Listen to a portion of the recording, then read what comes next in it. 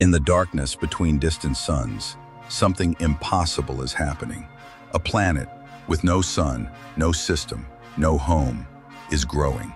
NASA just caught it, live, in the act of creation. This isn't science fiction.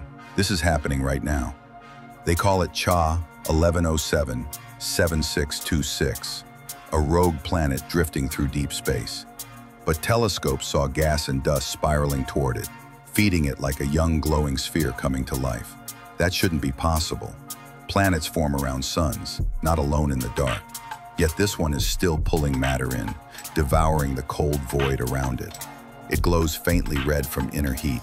Jets flicker, dust swirls, a halo pulses like breath. For the first time, we may be witnessing a planet being born in interstellar space. Some call it a failed sun, others something new. But in the quiet between distant suns, creation never stops. It just finds new ways to begin.